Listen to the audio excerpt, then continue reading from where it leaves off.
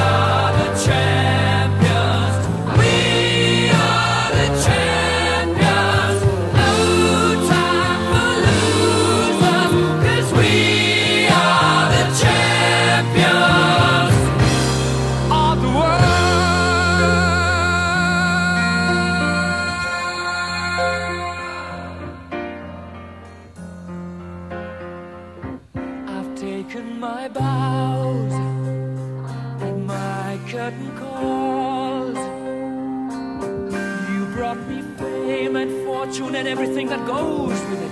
I thank you all, but it's been no bed of roses.